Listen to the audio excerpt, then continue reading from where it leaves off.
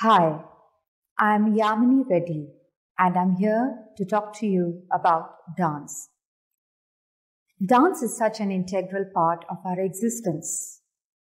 Often you will find yourself tapping your feet or swaying your body to rhythmic patterns and melodious notes. We all love to go to parties, concerts, and occasions where there is music playing, and we like to break out into a frenzy of movement and dance ourselves into a state of bliss. Even little children who can barely walk, you will find themselves jumping around and moving to the sound of music. Let me tell you a little bit about myself as a little girl. When I was little, I was crazy about dancing. All I wanted to do all the time was dance, dance, dance. When my parents used to be rehearsing, I would be prancing around them in the studio and uh, would follow them to all their performances and concerts. I wanted to go on stage and perform like them. To amuse me, they got a tiny costume stage for me and would dress me up and take me along and make me sit in the green room. Of course, they had no intention of calling me on stage, but I expected to go on stage nonetheless. On one such occasion, while I was waiting and waiting in the green room, I got really upset and I decided to take it upon myself to go and dance on stage. So I ran out and in the middle of my father's performance, I demanded to perform myself. The audience was so amused, they let me dance and that is how I came to give my first performance at the age of three. I was crazy about dancing. So, what is this passion of dance that we have in us? What prompts us to dance? Yes, dance gives us physical fitness, it gives us emotional stability and mental clarity. But these are obvious answers. So, I wanted to know more about why we dance. I decided to ask a few of my students why they dance and what ignites the spark within them to dance. And this is what I learned. Dance has this ability to transport you into a whole different world, being an escape from the chaos of everyday life.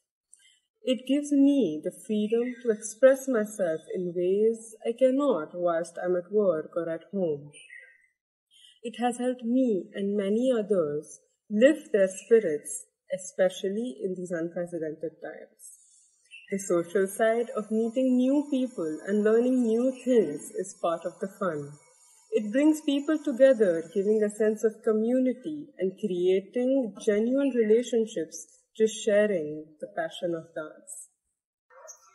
Dance has helped me develop self confidence. It has helped me develop self belief.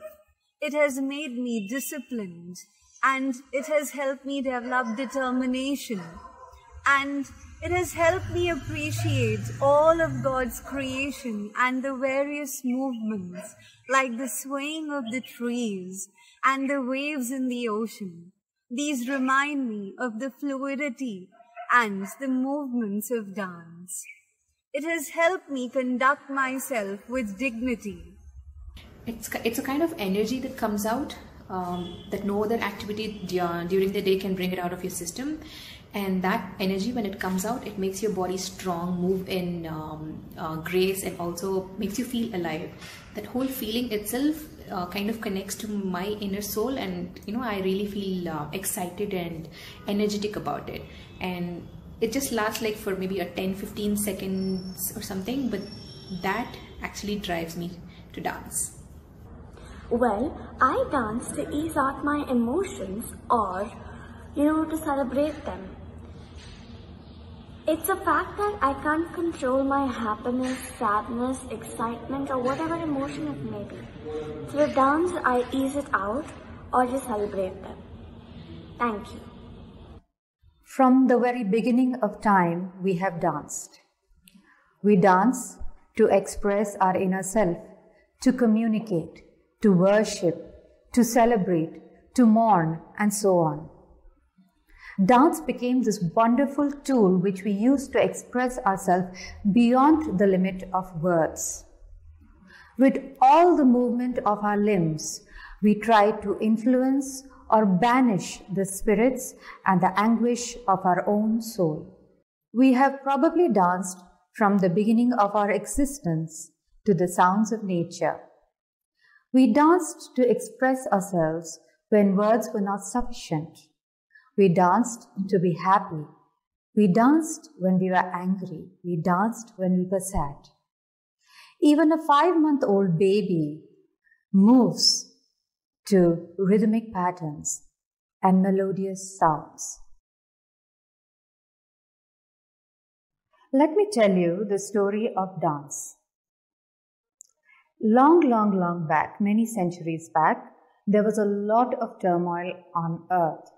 So all the gods went to Lord Brahma and asked him to create something which could be seen and felt by everyone, irrespective of their caste or creed. Lord Brahma decided to create a fifth Veda. We all know that there are four Vedas already existing. So Lord Brahma created a fifth Veda known as the Natya Veda. This Natya Veda he handed over to Bharata Muni and asked him to spread across the earth to teach the people. Now, before going to earth, Bharata Muni went to Lord Shiva and Goddess Parvati. He performed a small dance drama before them, and when Lord Shiva and Parvati witnessed this dance drama, they felt that there was something missing. That is when Lord Shiva taught Bharatamuni Tandavam and Goddess Parvati Lasyam, which made this Natya Veda into a complete dance. After that, Bharatamuni came down to earth along with his hundred sons and disciples and spread across all over to teach dance to the people. Due to their uh, regional differences on earth, dance acquired different styles in different parts. In India itself, currently we have eight dance styles. In the northern India, we have Kathak. If we move to the east a little bit, we find we have Sattriya from Assam and Manipuri from Manipur. Coming a little further down, we have Odissi from Orissa. Then we have Kuchipudi, which belongs to both now Telangana and Andhra Pradesh. Going a little further down, we have Bharatanatyam from Tamil Nadu. And finally, in Kerala, we have two dance styles of Mohini Attam and Kathakali. So this is how dance came into existence. And this is how dance continues to spark the life within us.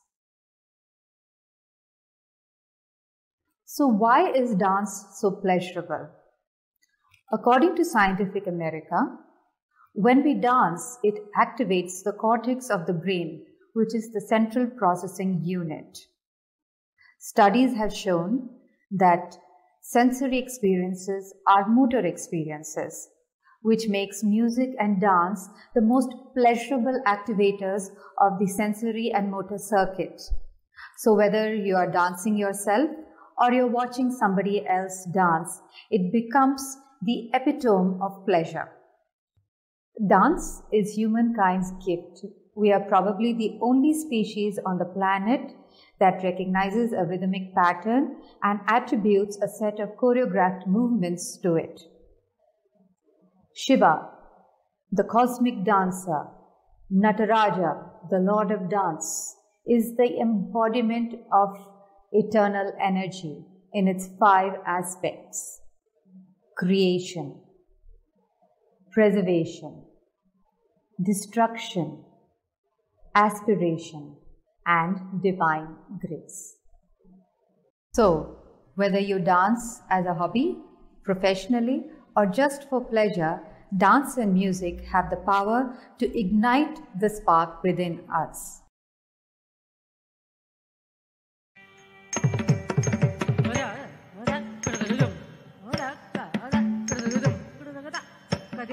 கொதி கொதி கொந்தாரே கடதகதா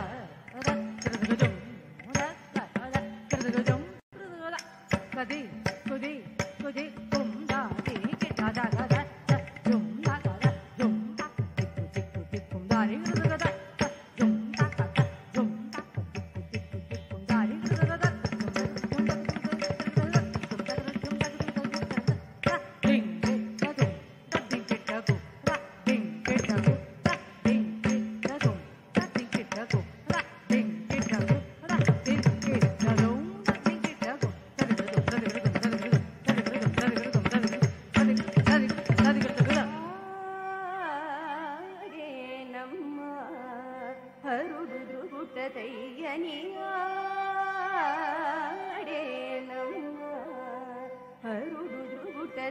哎呀！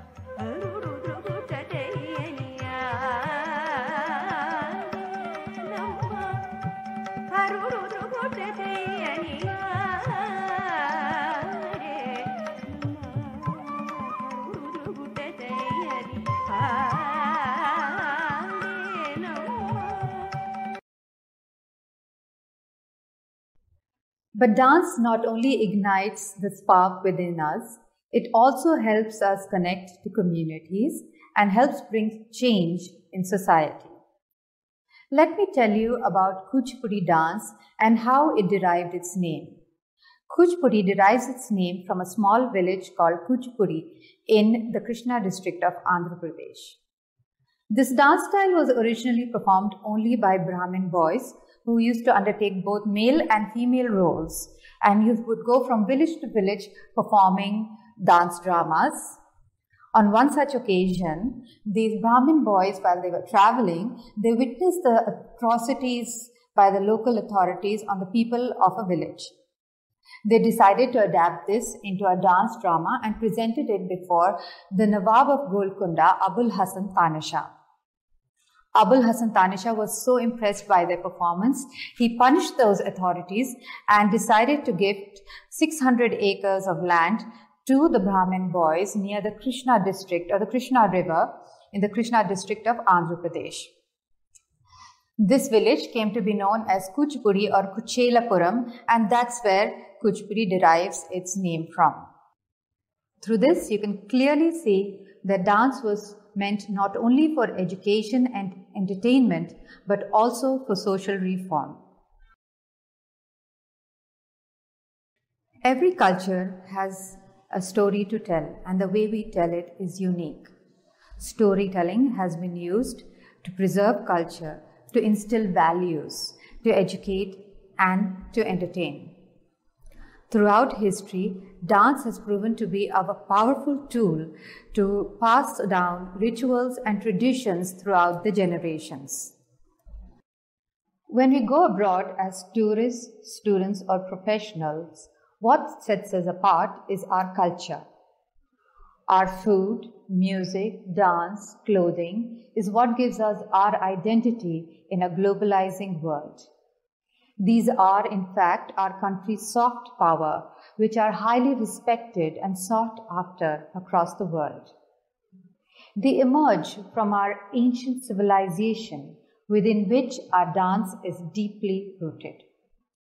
Dance is a powerful instrument of communication and means of cultural integration in a nation.